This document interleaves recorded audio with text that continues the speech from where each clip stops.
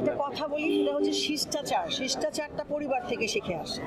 আমি কিন্তু ওনার সাথে কাজ করিনি। আমি কিন্তু এসছি ওনার কাছে। কারণ হচ্ছে যে আমার শ্রদ্ধা জানানোর প্রয়োজন আছে অনেক সময় আসতে পারে না, সেটা তো ভিন্ন বিষয়।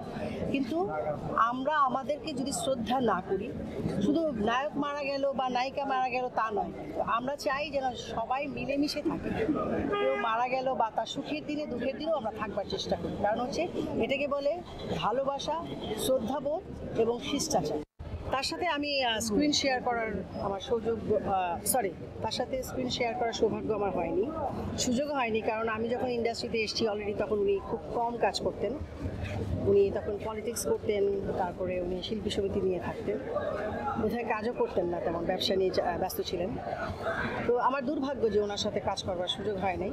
কিন্তু ওনার মতো মানুষ আমি যেটা ওনাকে দেখেছি, আমার জায়গা থেকে উনি কখনো বাবা, কখনো বড় ভাই, কখনো বন্ধু উনি খুবই রোম্যান্টিক ছিলেন হাসি করে হাসতেন সবার প্রতি ওনার যে মমতা, শিল্পের প্রতি যে ওনার শ্রদ্ধা এবং দেশপ্রেমের প্রতি তার যে ভালোবাসা এবং সেই সাথে আমাদের জাতিপিতা বঙ্গবন্ধুর প্রতি তার যে শ্রদ্ধা ছিল, সে দরাজ কণ্ঠে বলতে উনি মোটেও পিছু পা হতেন না। ওনার সাহস দেখে আমি মাঝে মাঝে তখন আমরা ছোট ওনাদের পত্রিকায় দেখতাম। একটা সময় জাতির পিতাকে নিয়ে কথা বলতো না কেউ মুক্তিযুদ্ধ নিয়ে কথা বলতো না কেউ কিন্তু উনি কিন্তু অদম্য সাহসে সেই কথাগুলো বলতেন। এটাই হচ্ছে ওনার বৈশিষ্ট্য যে উনি hero is always a hero আচ্ছা এই সাহসের কথা বললেন একটা সময় দেখা যে আপনারা যখন নতুন এসেছেন তখন ওনাকেই বলে যে একটু মানে ডিয়ারিং ছিল মানে হ্যাঁ ডিয়ারিং তো ছিল ওনার মানে কি? ওইটা ওনার নেচার ওনার পার্সোনালিটি কিন্তু ওইটা উনি কাউকে বোঝাতেন না। আর হয় কি? মানুষের ভুল ধরাটা আমাদের একটা অভ্যাস হয়ে গেছে। কিন্তু এটাই ওনার পার্সোনালিটি কিন্তু ওনার ভেতরে তো একটা নরম মন ছিল। এটা তো আমরা দেখেছি।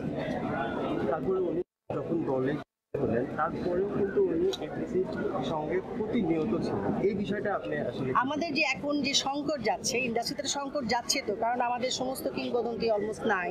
এবং যারা আছেন, তারা কথা বলেন না, কারণ হচ্ছে তারা অসম্মানিত হবেন বলে।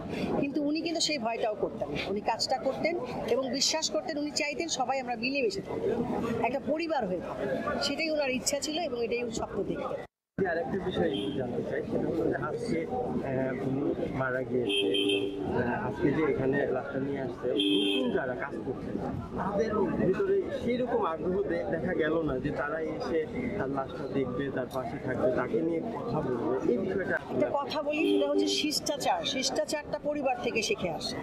আমি কিন্তু ওনার সাথে কাজ করি করিনি। আমি কিন্তু এসছি ওনার কাছে। কারণ হচ্ছে যে আমার শ্রদ্ধা জানানোর প্রয়োজন আছে ওনার।